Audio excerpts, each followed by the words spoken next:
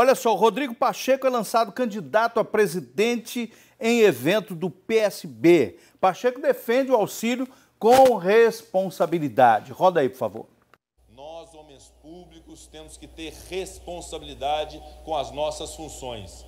E temos que ter responsabilidade com aquilo que trabalhamos no nosso dia a dia. E aí entro na questão do auxílio às pessoas, seja através de Bolsa Família ou qualquer nome que queira dar nós precisamos mais do que nunca garantir a essas pessoas carentes do Brasil um programa sustentável, um programa de pé, um programa que tenha um valor responsável. E esta responsabilidade fiscal não significa reduzir a expectativa das pessoas, porque é perfeitamente equilibrar, é perfeitamente possível equilibrar a necessidade que as pessoas têm de uma mínima capacidade de compra de itens de cesta básica que aumentaram o preço, com a responsabilidade fiscal. É obrigação dos técnicos, dos matemáticos, dos cientistas econômicos, de nós políticos, darmos essa solução imediatamente ao povo brasileiro, de ter o programa social dentro de uma responsabilidade fiscal com a qual nós não podemos transigir. Porque senão, se nós rompermos teto de gastos, gastarmos e tivermos populismo nisso, nós todos pagaremos a conta.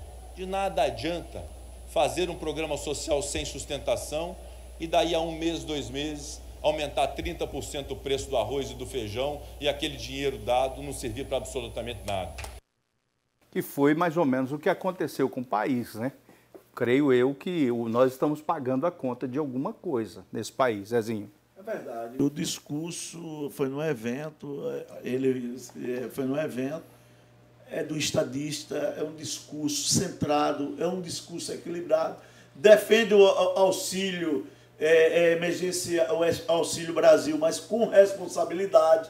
É isso que nós temos que ter, porque não adianta fazer é, é, como é, ações populistas, como ele falou. Já, já viu isso com Dilma Dilma deu em 2014 para ganhar as eleições, quebrou, deu pedalado, pegou dinheiro do Branco Brasil, dinheiro que não era dela, para manter. É o que o Paulo Guedes quer. Paulo Guedes quer isso. Privatizar tudo, pegar o dinheiro, ganhou as eleições e aí? Como é que fica? O Brasil nós temos que planejar ele para 10 anos. Paulo Cavalcante. Olha, é um absurdo é, o Pacheco, numa situação dessa, foi eleito e não será mais eleito nem para senador. Né? Pacheco foi eleito na, na, na, onda da Dilma. A Dilma, que era candidata, pessoal né, com horrores da Dilma, concentrar os votos no Pacheco, espera, com esperança de que ele fosse uma solução, e agora ele que foi praticamente colocado ali por uma estratégia do governo federal, ele agora se lança candidato, sobe no palanque e está agora usando o poder que ele tem para influenciar na, no sentido de querer fazer palanque político no nosso Senado. Está super errado isso, é um traidor para mim e não tem conversa com esse homem, não. Ok. Buiu.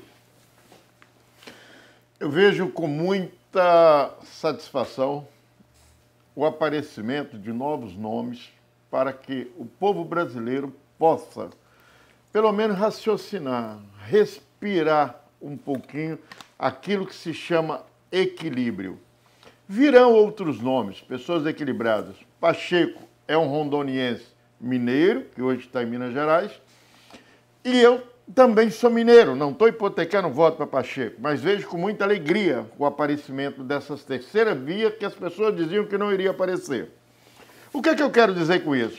Hoje, Minas Gerais, ele é o segundo maior colégio eleitoral do Brasil, com 17 milhões de votos. Ele representa 11% do eleitorado brasileiro. Saindo Pacheco em Minas, saindo Moro no Paraná, representando o Sul, saindo Ciro Gomes no Nordeste, saindo mais fulano e ciclano, e ficar nessa direita, essa esquerda que desequilibra o país, que traz tanta instabilidade, que traz tanta briga, eu gostaria de que a população pensasse e que não fosse nem Lula e nem Bolsonaro, viessem pessoas novas para equilibrar e trazer paz para esse país. Zezinho. Olha, é, Buiu já falou tudo aqui. Eu gostaria muito de ter essa terceira via. Para mim, a minha terceira via. Eu sei para a gente é, é comentarista, declarar voto é ruim, né? porque a gente já está tendo um político de estimação e eu não quero ter. Eu quero. É, o caso do Paulo, né? Paulo já adotou. Mas vamos ouvir, né, Zezinho? É, vamos, vamos ouvir. ouvir. Terceira via. Terceira via é bom. Terceira via dá, é, é, dá um equilíbrio, dá uma, é o que você falou, dá uma paz. A gente tem esperança, dá para sonhar. E outra coisa, Edvaldo, não passa os 400 reais no Senado. A proposta é, Arthur Lira já falou hoje, a proposta é 300 reais, porque é equilibrado.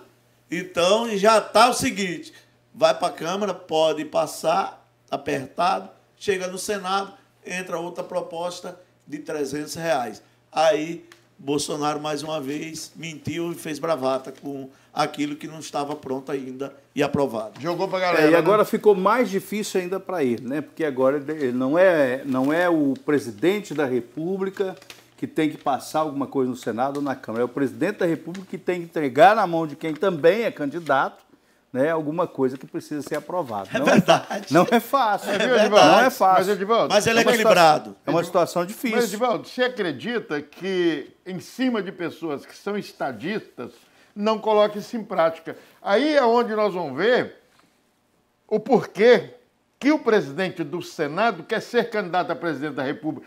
Quem sabe ele é um homem dotado de grandeza e resolve colocar, porque não está ali para beneficiar Bolsonaro, está para beneficiar o povo. Esperamos isso. Né? Pela fala dele, a postura dele, a gente espera isso. É, Vamos... As pessoas têm que pensar hoje em Brasil e não em política. Nesse ponto, eu concordo com a fala do Lula.